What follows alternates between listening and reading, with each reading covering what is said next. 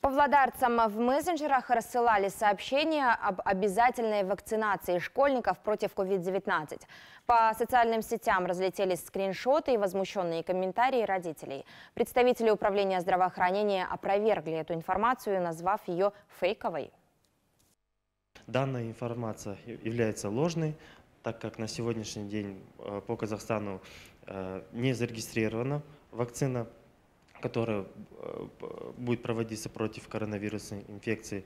На текущий день проводятся только подготовительные мероприятия. То есть ор- а, идет процесс организации э, прививочных кабинетов, э, закуп необходимых инвентарей, таких как холодильных камер.